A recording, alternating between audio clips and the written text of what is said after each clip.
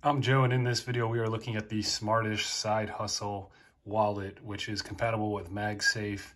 They claim it secures three cards, it's pocket friendly, highly attractive, but let me just tell you I've tried a couple of these MagSafe wallets now and this one is by far the best in my opinion for the simple reason that a lot of the ones that you see and that I've gotten so far load all these cards from the top and they have no way to push them out so you have to really stick your fingers inside of it to try to grab them out.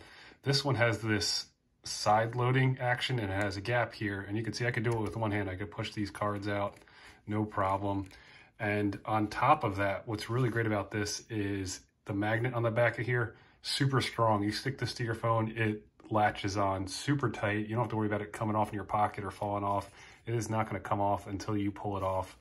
Um, it also claims it holds three cards and it does very comfortably, but I have four in here and it fits that no problem. You can see I could still push these cards out easily. Really like this. I think by far this is probably the top rated MagSafe wallet that I've used so far. I like I like it a lot. I think it's great. And it also works nice as a standalone wallet. If you decide to not even connect it to your phone, works great. Really great MagSafe wallet.